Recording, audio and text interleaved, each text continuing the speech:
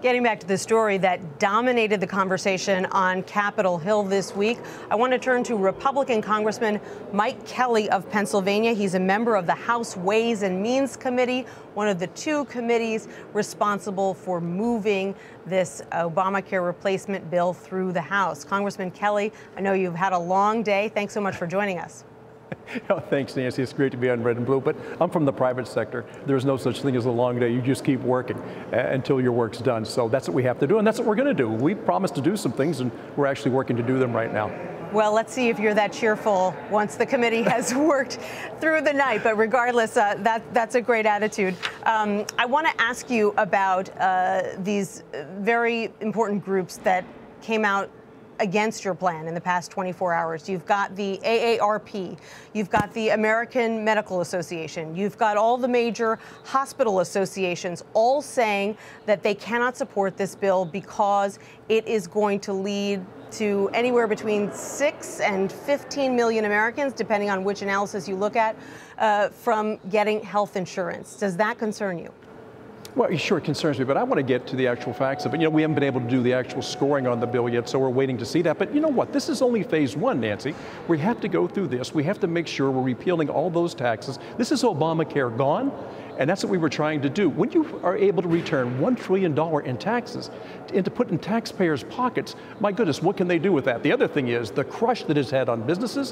When you allow businesses, again, to have a future in front of them that they can actually plan for and don't hold them down. The last time I looked, the only people paying taxes are people who are working. They pay wage taxes, that supports Social Security, that supports Medicare. And the revenue from profitable businesses is what drives our country, what provides all that capital that we need. So I understand my friend's concern concerns. I get that. But I would just say this look, this is a plan that we put out there. The speaker has been very clear that this is what we're going to do. We're trying to get there. The president is on board with us. And you know, at the end of the day, you either vote for this plan or you vote with Nancy Pelosi. I don't think that's a great idea. But what's your response to Democratic criticism that, sure, you are giving tax breaks to wealthy people who don't necessarily need those breaks, while at the same time, you're less generous to the people who really need that assistance to help them buy insurance? No, but, that, but that's not true, and it's always going to be the case. It's always uh, it's the rich that get all the breaks. But here's the reality of this: is when you look at some of these programs, when we return to the states, their ability to decide where the money is going, we'll backpack that to them, let them make those decisions. But more importantly than anything else, hardworking American taxpayers, especially especially middle income and lower income people, are going to get a tax credit that they can use to buy the policy that they want, not one that somebody from Washington says this is what you must buy. How about allowing people to buy what they can actually afford? What contains the policy pieces that they would like to have in there. Isn't that what it's always supposed to be about? The private sector, allowing people to compete, allowing insurance companies to go head to head for people's business, that drives the price down and the quality up. That's just a basic tenet of economics. One of the, uh, let's talk about those tax credits because you brought them up. One of the key criticisms that has uh, come from some of these medical groups is that the way you formulated the tax credits, it's basically a flat credit. The same amount goes to everyone, uh, whether they make $30,000 a year or $70,000 a year. And they say uh, that those tax credits would be more useful if they were targeted, if they were, uh, you know, gradated so that lower income people got more. Is that something that you would be willing to consider? Yeah, I'm willing to consider anything at this point, but I do think this. When you base it on people's age and the size of their families, that's when you're really uh, looking at people, middle income and lower income people. We've got to help them with their premiums. Listen, I'm in the private sector. I do provide health care for the people that I work with every day.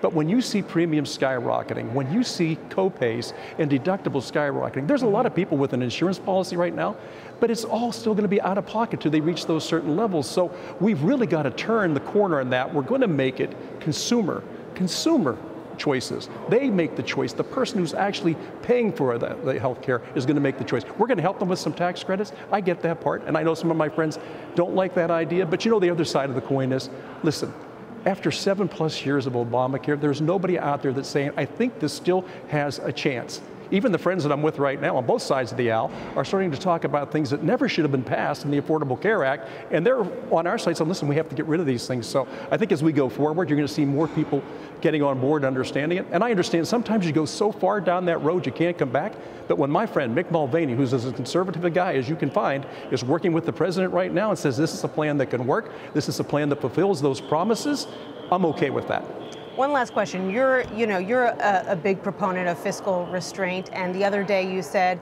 uh, we're going to find we're going to find out what's in this bill before we pass it. We're not going to do what the Democrats did. However, your committee uh, wants to take a vote within the next 24 hours on this bill, and you don't know how much it's going to cost, and you don't know how it's going to be paid for. As a proponent of fiscal responsibility, how can you make up your mind on a bill like that when you don't know this basic information? Well, it's being scored right now, and as you know, it still has to go through the Rules Committee, and if it doesn't match up with what we're proposing, it won't be able to go forward.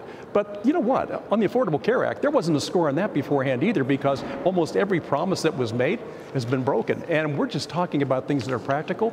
We're putting it out today. People are getting a chance to look at it. In fact, the American people from 6 o'clock Monday night had a chance to look at this bill. Our piece is only, I think, 54 pages as opposed to almost 2,000. So what should be easier to understand?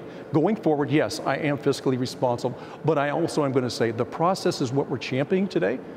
Phase one is what we're going through right now. Phase two will be Dr. Price uh, as he looks through the rules, and phase three will be when we look at things like purchasing across state lines, uh, about all those different things that are important as far as holding the cost down, tort reform, those things still have to come into play. Are they scored yet? No, but they will be scored. And if they don't score the right way, it won't come out. It's just that simple. Republican Congressman Mike Kelly of Pennsylvania, thanks so much. We really appreciate the time. Thanks, Nancy. Thank you so much.